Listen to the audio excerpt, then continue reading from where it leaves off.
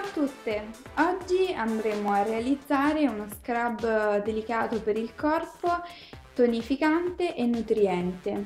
Vi mostro la ricetta.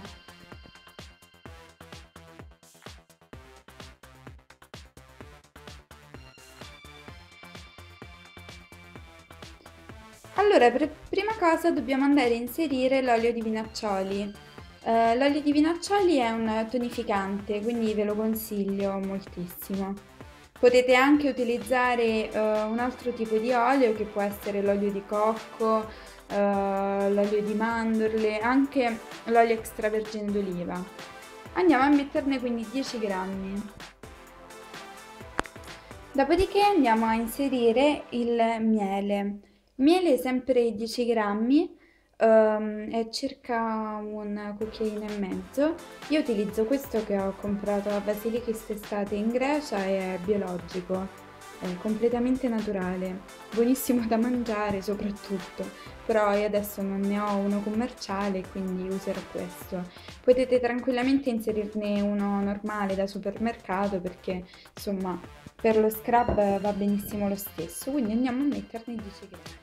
Ora invece andremo a mettere i 3 grammi di olio di avocado. Io ho scelto l'olio di avocado perché um, fa, um, rende la pelle molto molto lucida e, um, è molto nutriente. Allora adesso andiamo a inserire i 30 grammi di uh, farina di cocco. Uh, il cocco, la farina di cocco consente di avere un risultato un po' più leggero come scrub, uh, differentemente se utilizzate il sale grosso lo zucchero o i sali del mar morto. Potete altrimenti, se vi trovate meglio oppure non avete la farina di cocco, utilizzare anche la polvere di shikakai, però in quel caso io vi consiglio di inserirne 10 grammi.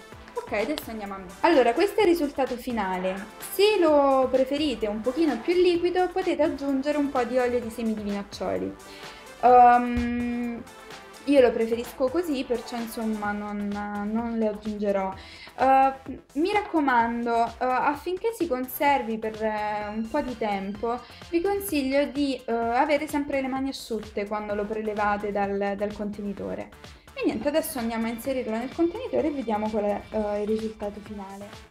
Ecco qui, questo è il risultato finale e mm, ve lo consiglio tantissimo perché è delicato, non vi fate male soprattutto e vi lascerà la pelle veramente veramente morbida anche perché il cocco è veramente molto nutriente, in più abbiamo il miele che fa sempre un'azione molto idratante, il vinaccioli tonifica, l'avocado illumina la pelle. Io vi ringrazio per aver seguito il video, ci vediamo al prossimo video. Ciao!